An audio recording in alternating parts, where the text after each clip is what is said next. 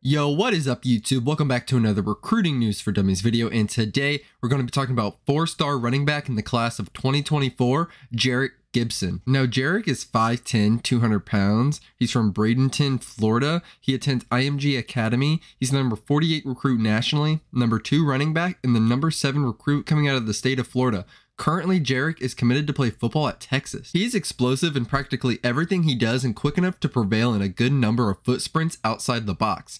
He is not one to fall at the first hint of contact and thanks to his fast feet and loose hips is typically able to escape difficult scenarios. Once he gets past the first wave of defenders, he can stack cut after cut and is a little bit of a slasher.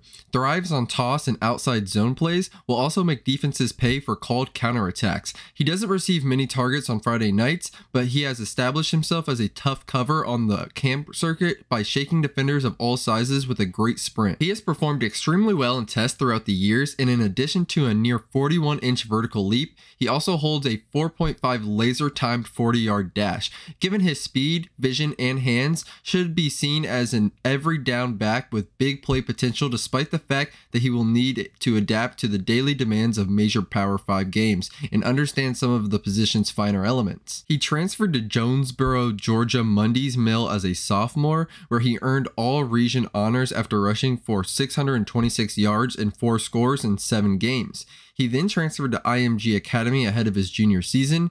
At Football Powerhouse IMG, Gibson rushed for 608 yards and 8 scores in 2022. Yo, thank you guys so much for watching another Recruiting News for Dummies video. Let me know your thoughts on Jerrick Gibson down below. Don't forget to like, comment, and subscribe and hit that notification bell to get alerts on every new video that I post. And I'm out.